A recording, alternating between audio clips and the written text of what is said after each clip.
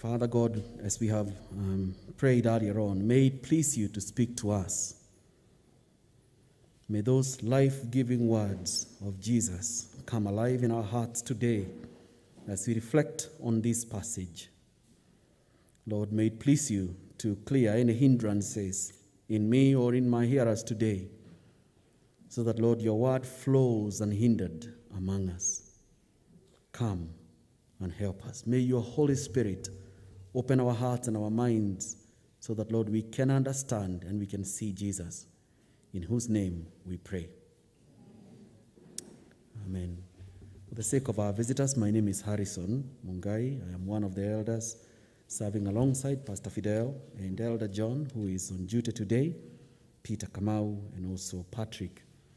Um, today we are coming to the end of our sermon series through the book of Judges.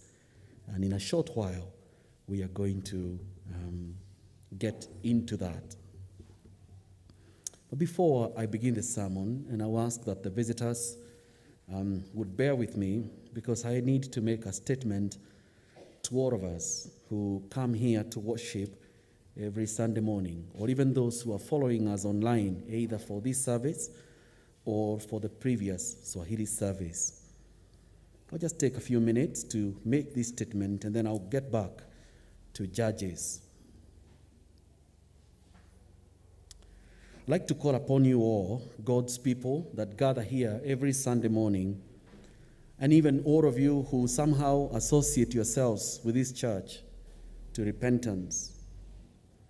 By this, I'm specifically talking to members, those who have covenanted to be part of this church family, and even those among you who are in regular attendance, or even those who are exploring membership here at Grace Point Church.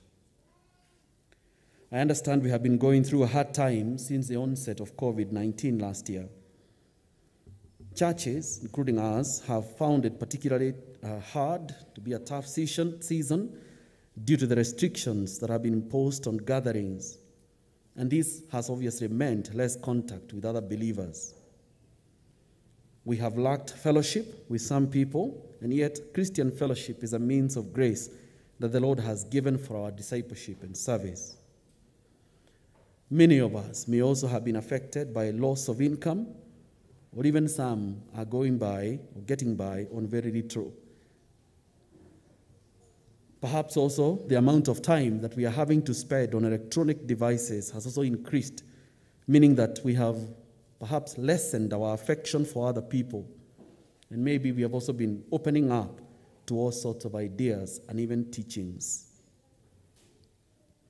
Some of us might also have suffered from COVID itself, but in the Lord's goodness, they have recovered. We praise the Lord who has continued to sustain us in every way. As a church family, we have continued to hear the gospel proclaimed to us every Sunday morning. And even in the middle of the week, through the mid, uh, midweek service, we continue to hear the word of God being taught to us. More recently, we have begun doing a daily podcast to encourage ongoing growth in the Lord. And we also praise God that in many other areas of our lives we have been thriving, be it work or even in family. Indeed, very many families have been birthed among us, and even many children born, including those that we shall be receiving into the church family coming Sunday. Some of you have found new jobs or businesses, and indeed, there is every reason for us to praise the Lord. But as we are gathered here today, I am concerned, as the lead pastor, that the love of some of us might have grown cold. This is those who are here today and those who might be following this sermon online, or even those who will get it later on. I observe that some of us have actually withdrawn from attendance or even involvement in the church family altogether. As our duty in shepherding, we, the elders, have actually reached out to them, but with little fruit. I'd love to address you wherever you are, brothers and sisters who have abandoned fellowship and yet continue to remain on membership, to remind you that Christianity is never lived out as an individual. The gospel is almost always expressed in the form of a community, and it is called the local church the one for which the Lord Jesus Christ died. We are not just called to follow Jesus, we are also called to be a community. We are one body, and when one part is missing, the whole body suffers. But can I also remind you, wherever you are, those of you who have abandoned fellowship, that you're on a dangerous path, and it is not good for your soul. It is like in the cycle of apostasy that we have seen in the book of Judges this far. Please do not say you are not warned. to Tumekukanya. I also observe that some of us have lost their zeal for the Lord and for His service. They are sitting back and waiting to be served. And that has been alluded to both in the prayer, we had not talked about this, but both in the prayer that was uh, led for us, a congregational prayer, but also in the announcements that Elder John actually made. There are many among us who are just sitting back and waiting to be served. They are not in any particular ministry. They are, so to speak, consumers. They are merely looking on as others struggle with the work without helping. What happened to every member ministry that the Lord has called us to? We have been told time and again we are not to be spectators, brethren.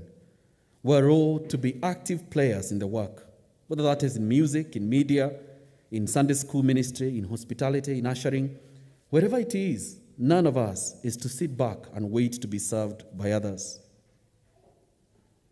Very sadly, some only show up when they are serving.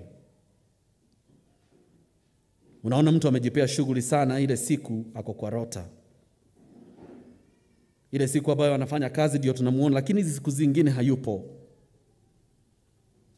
Ataonekana tena wakati nafasi yake katika rota itafika tena. That is not how to go to grow in godliness, God people. You need to be there whether you are serving or not, so that you can also receive service and ministry from other people. And yet also be ready and available if you are called upon, either by your leader or deacon, on a short notice in case someone is not there. But none of us are to be on the sacred service. None of us are to be intermittent, only showing up when I'm preaching, but not sitting down and being fed from the ministry of others. I observe some of us are not regular. They haven't abandoned the ministry, they haven't abandoned the church or the fellowship. They are still somehow affiliated and they still show up from time to time, but they're not regular. You can't count on them. Oftentimes they are late. You can't see them in prayer meetings or even whenever we have a prayer and fasting gathering. They don't show up for that or for evangelism Saturdays. They are also inactive in their growth groups. Their giving is ungenerous and often irregular. They are sloppy in their singing, or even in our congregational uh, times of prayer. Very sloppy. These are people who are unavailable to serve. They are those who, when they are asked, Would you read the prayers on a Sunday morning? Really, the staff have really to chase them before they can actually confirm. This kind of a Christian is essentially lukewarm. This kind of irregularity that you cannot be counted upon doesn't show any godliness. You're actually essentially doing church at your own terms. You're just showing up just when you need to or when it's okay and convenient. You're not paying any cost whatsoever for the furtherance of the gospel and for the proclamation of it in the local church that the Lord has called us to be part of. Brothers and sisters, might we be creeping back into a backbencher culture where people just like to look at things from afar? Such a culture is toxic. The only thing such a culture can be good at is in complaining and murmuring, which was alluded to in the prayer session. Criticism often thrives in such a context because such a people can never be contented. They don't like the way things are done. And they are not even willing or ready or available to help? Are we ourselves, then, brothers and sisters, hearing the cycle of apostasy in Judges? Or might we be assuming that it was for those people then and not for us now? Nimekukanya. But in case you're wondering whether you are the person I'm talking about, here are five ways in which you can tell. One, are you growing in Christ likeness? Do you find that you're feeding from the gospel and then and growing in Christ? Is this becoming evident in your speech and in your conduct? Is the word of God shaping you to express true humility and godliness? How is your devotional life? How committed to the Lord are you? But secondly, who can give an account about your faith or service? Are you accountable to anyone? Are your leaders, be they elders, growth group leaders, deacons, or ministry leaders, are they at ease with your commitment? Can they count on you? Can you be depended upon that you'll show up? Does anyone expect anything of you? Or you're just floating along? How are you, thirdly, obeying the call to tell others about Jesus? Is there anyone you are reading the Bible one to one with? Are you discipling anyone? Is there anyone you see from time to time and are praying for in a committed way that they may come to know the Lord? Or are you in a comfort zone somehow? Or are you just happy because we know we get together with like minded people on a Sunday morning, we sing good hymns, we dance, and we sometimes rejoice, and then we go home? Is that you who is perhaps settled in a happy place? Fourthly, how is your generosity for the Lord's work, primarily here in your local church? And I'm not coming at you because of a financial reason. Please don't get it wrong. But are you sacrificially giving? Or perhaps might you have just given up and maybe you're just doing token kind of giving, just show up on the queue, but not really giving with an intention that the gospel may be fathered and that indeed God's kingdom might grow. Does anyone know about your giving? Is there anyone who you're accountable to? Many of us have been paired with someone, be it the men have been, uh, were paired sometime last year, and the women also have a pair, like a buddy with whom you walk or with whom you share. Do they know about your own generosity? Or the fact that the giving here at Grace Point is anonymous perhaps gives you a ticket not to give at all? Might you have abdicated your responsibility as a follower of Jesus? And finally, how well are you doing in one anothering? The New Testament calls believers to a lot of one anothering. That's the whole point of being a community. We're to be there for one another. We're to love one another. We're to encourage one another. We are to honor one another. We are to admonish and rebuke one another. We're to serve one another. We are to bear with one another. We are to confess our sins to one another.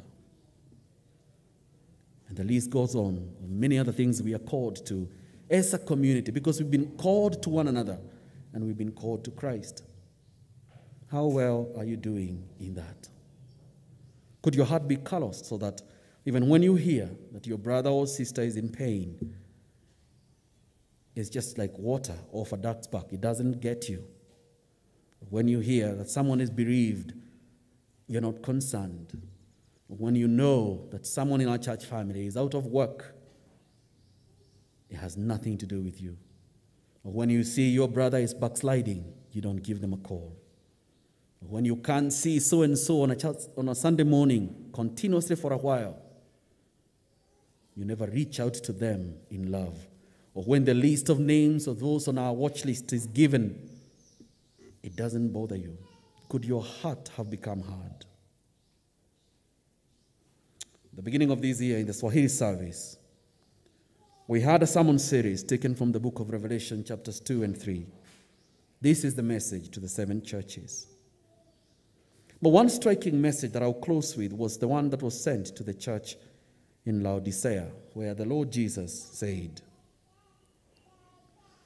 That to the angel of the church in Laodicea, write, These are the words of the Amen, the faithful and true witness, the ruler of God's creation.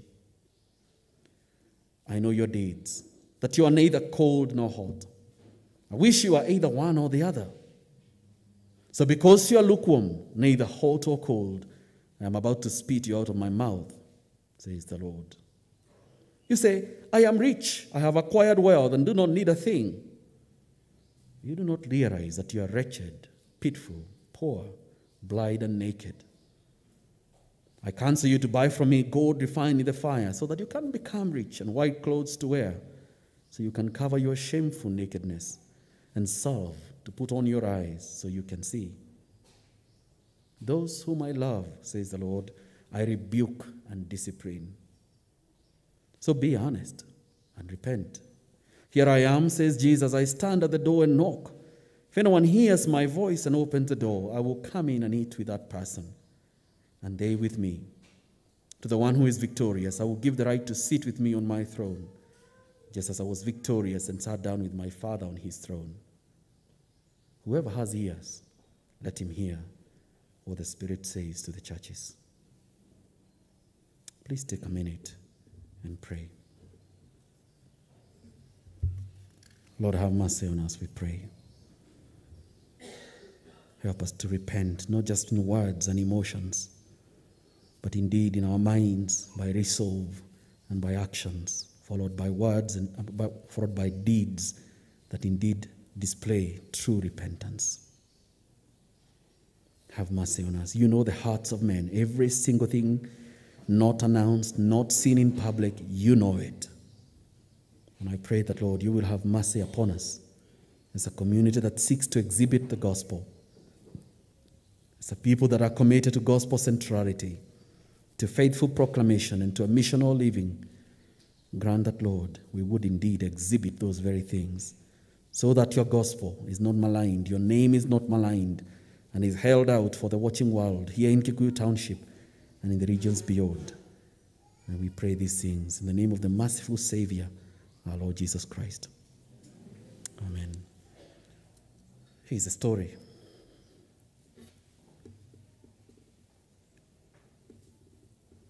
There's a PowerPoint if media team is also happy to queue up that. We will get to grips with the story and then we will soon be out of here.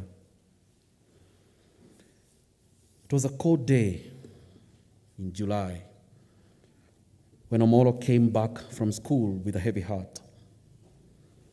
He had spent much of his day in the library since he did not want to go into the field.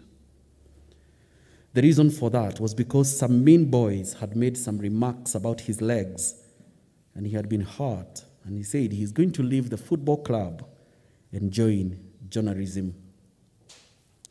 And so on this day, he was perusing through the daily papers and reading articles online in the school computers. He always enjoyed books. He always loved reading stories of different people, like the Safari Rally champions who drove really fast, or even the Kenyan marathon champions who win great races all over the world. However, on this day, page after page in the newspaper, he read very disturbing news, such as armed robbers raid a home and murder the husband in Kisumu, or students burnt alive in a dormitory fire in Kwale, or police arrest two men in Muranga for forcing two women into female genital mutilation, or a man is jailed for raping and impregnating his two daughters in Tharaka-Nithi. And so on this day, Omolo could not wait to get home to tell his father all about it. He had always wanted to have a bright future, one where he could be certain that his own hard work in school or at work would be rewarded. A future where leaders are accountable, or even where the vulnerable, like the sick the elderly, and the minority are protected, or a place where people can live with each other in peace, love, and unity. But this did not seem to be the case for his own country, Kenya. And so, even before dropping his school bag, he launched into questioning his father. Why is there so much? Why is there so much pain in the world? Why is there so much injustice? He railed at his father. Taking a deep breath, his father turned to him. A little bit uncertain if Omolo is now of age to engage these kind of questions. But since he had asked, it was probably time to have the conversation. Do you remember the stories we've been reading in the Bible, Omolo? asked his father. Yes, I do, he said quickly. Now, let me remind you one of those. A long time ago, in the days after Joshua had died, the people of Israel abandoned Yahweh, the Lord, their God, who, if you remember, had rescued them from slavery in Egypt and settled them in the land of Canaan. Yet the people began worshipping idols. Every time they sinned against the Lord, He punished them through a foreign king who would dominate and harass them. But if they cried to the Lord, He would send to them a rescuer to deliver them from their oppressor. This went on for a long time. The striking thing is, they had no king. They had not submitted themselves fully to the Lord God, who was their king. And also, they did not have a human king to rule over them. Those days, everyone did as they saw fit. Hmm. Asked tomorrow, how was life like in those days? He interjected. It must have been very scary to live in a country without a government and even without the worship of a true God. It was very bad, really bad, his father continued. The writer of the story gives us a glimpse of it in the concluding chapters of the book of Judges. In 17 and 18th chapter, he shows us the religious decay where idolatry, the worship of idols, is practiced openly, even by a Levite, a man who was supposed to be a priest to God.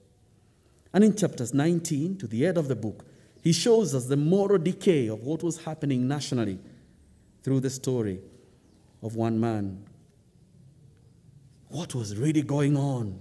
Tell me more, insisted Omolo to his dad. Well, Omolo's father straightened his face, trying to gain composure. It was very dark.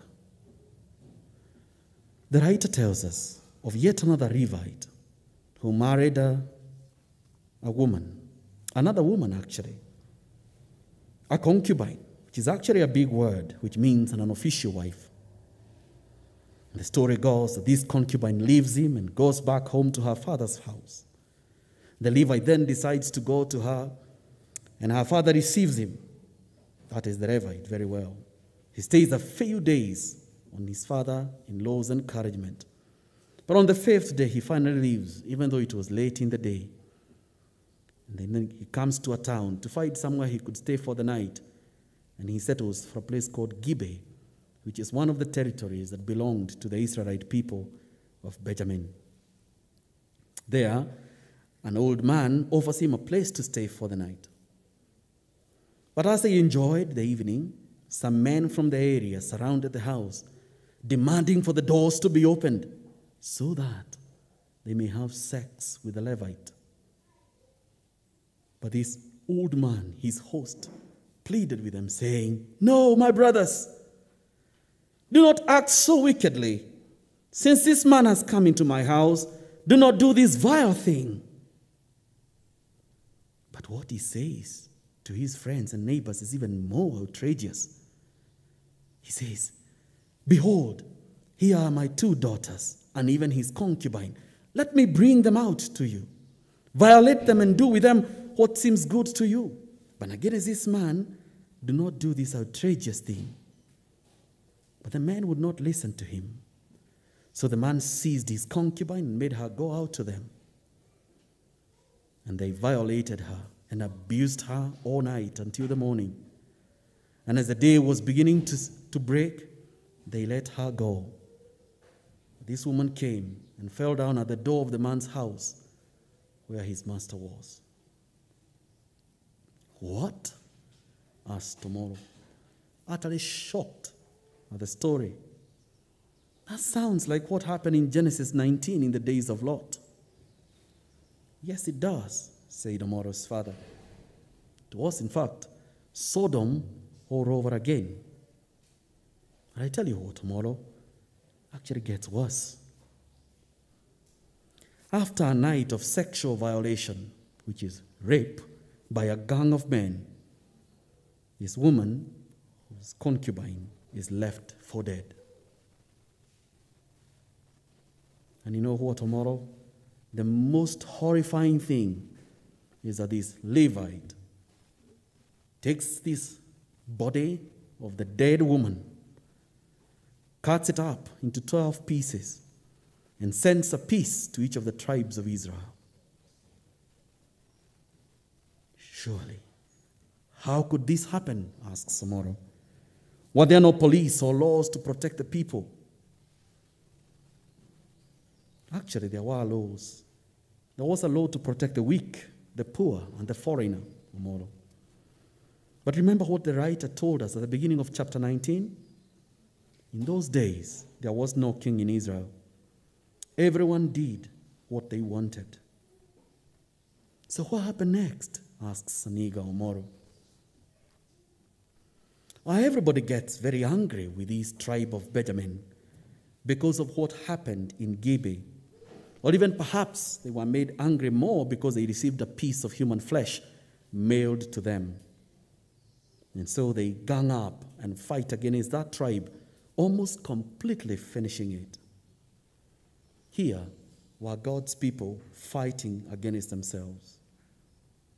However, there were a few survivors, about 600 of them. And in order to give them wives, the writer tells us that the rest of the Israelite people raided yet another tribe of Israel in order to try and get wives for these 600 men who had survived. It says in Judges 21:10, Go and strike the inhabitants of Jabesh Gilead with the edge of the sword. Also, the women and the little ones. This is what you shall do. Every male and every woman who has lain with a male, you shall devote to destruction. And they found among the inhabitants of Jabesh Gilead 400 young virgins who had not slept with a man. And they brought them up to the camp at Shiloh to be the wives for the Benjaminites things were getting really dark and horrifying. And yet, they weren't even enough. Only 400 young virgins, young girls. There were 600 men. So they devised yet another plan to snatch wives from people as they went to worship the Lord at Shiloh. Go and lie in ambush in the vineyards and watch. If the daughters of Shiloh come out to dance in the dances, then come out of the vineyards and snatch each man his wife from the daughters of Shiloh and go back to the land of Benjamin. Such was the life in the days of Judges. This must have been a very difficult time for everybody, said Amoro. Can you imagine Benjaminite children who had nothing to do with the men who had sinned in Gibeah in a lot of pain, all of them, together with their mothers, killed by their own countrymen. It must be horrific for these women and children. Yes, it was. Those really were dark days, says Amoro's father. In fact, the writer closes his book with those very sad words that in those days there was no king. Everybody did as I saw fit. And Amoro, what do you think are some of the lessons that we can learn from that story? Amoro thought he could find only about three lessons.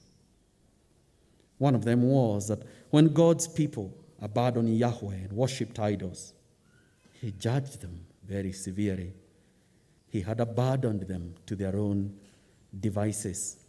They were left to do whatever they saw was fit. Second lesson was that when the true king is not on the throne, then people are very broken and mean to one another. In fact, there are no morals to live by, and it can be a very dangerous society to live in. Such was the nature of this chapter we have read. The true king is not on the throne. People are morally corrupt. Everyone is doing what they think is right. Men are having sex with men, homosexuality. Women are being abused and children are being murdered. Those who have strength or might are automatically right. And so, because you can snatch girls as they go to a dance or as they go to church, those were the days. No one seemed to have any protection. The true king was not on the throne. But surprisingly, I also notice, says Amoro, that Yahweh is never too far from his people. It is very interesting that even in those very dark days, people could still inquire of the Lord, and he would still somehow answer them. Indeed, those are very accurate lessons, Amoro, says his father. And they are also good lessons for us today. if we abandon the Lord as our king, society breaks down, families fall apart, corruption thrives, rape, theft, murder, and injustice become common. Yet the good news is that the Lord is never too far from his people. If we return to him in repentance and trust, he hears our prayers. But you know what, tomorrow? There is even more. When it is very dark, the stars shine the brightest. Because of all the darkness there was, there is such a longing for a king, a good king who would rule over them with justice and righteousness. And I can imagine then the question in every child's heart and mind who was living in those days must have been Will such a king ever arise in Israel? Could there be a true godly king who will rule with justice, who will protect our nation? I think we will see that the beginning, or at least the beginning of it, in the very next book of Ruth. But before you go, we can rejoice and give thanks because of government. In fact, the Bible teaches us in Romans 13 that government is appointed by God to exercise authority on his behalf. He appoints it to restrain evil and to reward good. It doesn't always work perfectly or moral, since we are still in a broken world. But thank God that there is a government. And yet, that's not all. There will yet be another king, the ultimate king, the Lord Jesus Christ, the one whom Israel really longed for, who will one day return to establish his kingdom. This kingdom will be full and perfect here on earth. And in the meantime, we are to worship him alone as the true God, to live rightly in accordance with his commands, and tell others about him. What a glorious day it will be, Omoro. Well, what a glorious day it will be, wondered Omoro. The end. Father God, we thank you for the many things that we have learned through this book. We are those who backslide. We are those sinful rebels who walk away. And yet you are the gracious Father who gives a king. Please help us to embrace the king that you have, anoint, that you have anointed. Please help us to run to him and to obey him. Help us to trust in him alone. We ask this in Jesus' name. Thank you.